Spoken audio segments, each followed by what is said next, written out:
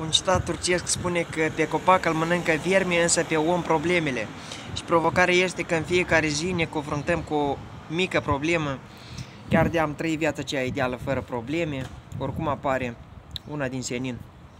Că e de sănătate, că e de care factură nu ar fi. Aceasta este provocarea că, ca să o rezolvăm. Albert Einstein ne spune că problema se rezolvă nu la nivelul care s-a produs, ci la un nivel mai înalt este nevoie să privim, precum spunea Andișechii, ca din avion, adică să ne înălțăm deasupra problemei, să o privim din mai multe perspective, chiar poate să ne sfătuim.